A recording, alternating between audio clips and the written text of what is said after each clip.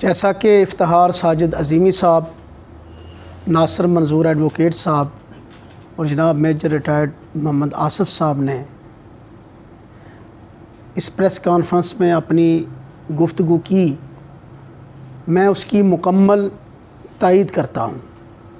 उन अल्फाज को दोहराने की बजाय मज़ीद कुछ बातें जो है वो कौम के सामने रखना चाहता हूँ। जैसा कि आप सब लोगों को इलम है कि तहरीक इनकाद बल्दियाती इंतबात के प्लेटफॉर्म से हमने जो जदोजहद शुरू की थी, उसको अब अमली जामा पहनाने का वक़्त आन पहुँचा है। इसलिए अगर कोई सियासी गमाश्ता एडमिनिस्ट्रेटर बनना चाहता है तो कान खोल कर वो सुन ले कि किसी सूरत में भी हम इस बात को बर्दाश्त नहीं करेंगे। मोयल से लेकर नीलम तक हम मज़ामती तहरीक का आगाज़ करेंगे और सिर्फ़ बल्दियाती इंतबात की बात नहीं होगी तो फिर बात होगी महँगाई की बात होगी बेरोज़गारी की, बात होगी बिजली की, बात होगी तालीम की, बात होगी अदलिया के गनौने करदार की, सेहत के हवाला से, माहौलियात के हवाला से इन तमाम इश्यूज़ को हम फोकस करेंगे। और ये वो इश्यूज़ हैं जिसके ऊपर हकूमत किसी भी सूरत में मैं नहीं समझता कि चल सके। इसलिए कि आवाम के अंदर पहले ही महँगाई के ख़िलाफ़ एक लावा उभर रहा है। इसी तरह दीगर जो एक लोगों के साथ ज़्यादतियाँ हो रही हैं, उस वाला से भी लोग परेशान हैं।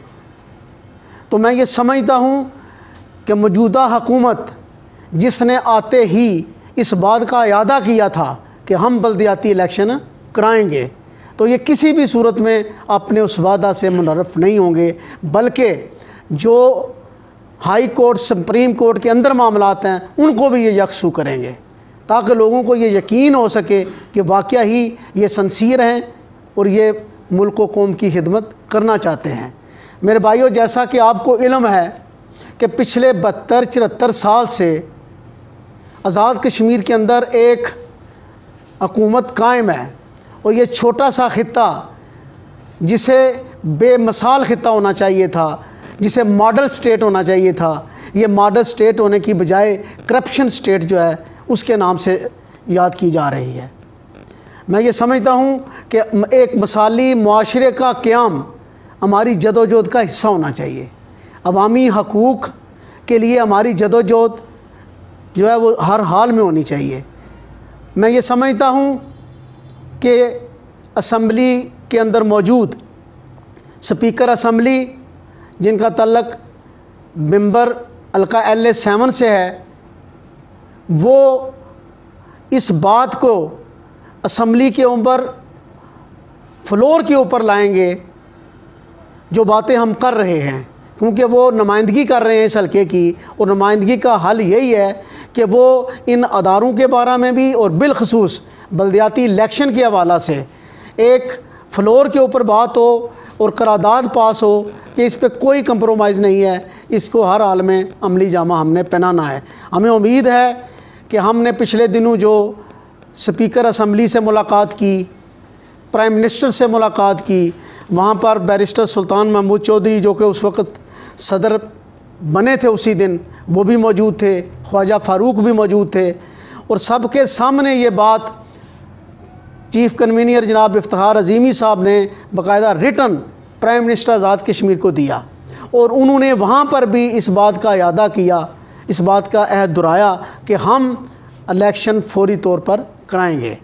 अब ये जो बातें सामने आ रही हैं, ये हमारी समझ से बाला तार हैं। इसलिए आज हमने ये महसूस किया कि प्रेस कॉन्फ्रेंस के ज़रिए हम ये पैगाम ईवानों तक पहुँचा दें कि हम किसी भी सूरत में इस पर कॉम्प्रोमाइज़ करने के लिए तैयार नहीं है। और मैं ये समझता हूँ कि कश्मीर फ्रीडम मूवमेंट के कारकुन मोयल से लेकर नीलम तक, जहाँ भी मजामती तहरीक चलानी पड़ेगी, तहरीक के इनकाद बल्दियाती इंतबात के चीफ कन्वीनियर जनाब इफ्तार अजीमी साहब को यकीन दानी कराता हूँ कि आप जिस स्टेशन पर जाएँगे, आपको आगे बंदे मजामत के लिए मौजूद मिलेंगे। गिरफ्तारियाँ करानी पड़ी तो गिरफ्तारियाँ भी कराएँगे, लेकिन इस पर किसी किस्म का कंप्रोमाइज़ नहीं करेंगे। इन्हीं अल्फाज के साथ मैं ये समझता हूँ कि मौजूदा हुकूमत हमारी इन बातों को संजीदगी से लेगी और किसी सूरत में इसको जो है वो मज़ाक ना समझा जाए। ये मज़ाक नहीं है।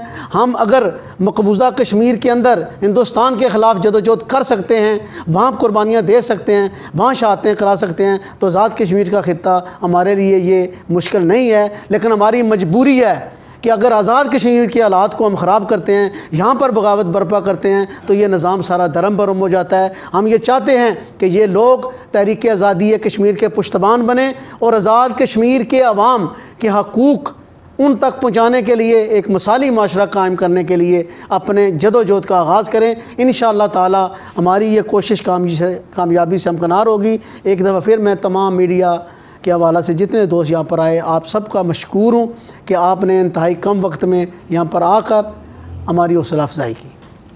एक से, एक एक मिनट जी।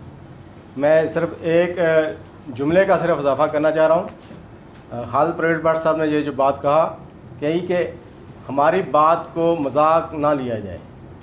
मैं इसी को दूसरे पैरा में कहता हूँ कि अगर हमारी बातों को मज़ाक लिया गया तो हम इन एक साल के अंदर अंदर इस हकूमत को मज़ाक बना के रख देंगे और ये बात मज़ाक नहीं है, ये संजीदा है। बहुत शुक्रिया।